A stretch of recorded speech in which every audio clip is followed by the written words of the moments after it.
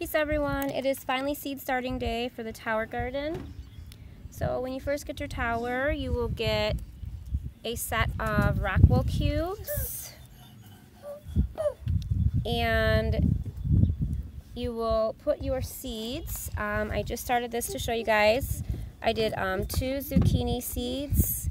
You stick them inside the hole and then you will get what they call vermiculite um, and I'm doing this with the baby on my lap, so just be patient with me here. Um, so you just take a small amount of the vermiculite and sprinkle it to cover your seeds. Um, and when your seeds are covered, you are going to have all your Rockwool cubes with your seeds lined up inside of a tray. So I usually use like some sort of baking tray. Um, when you first get your tower, you'll get a seed starting tray.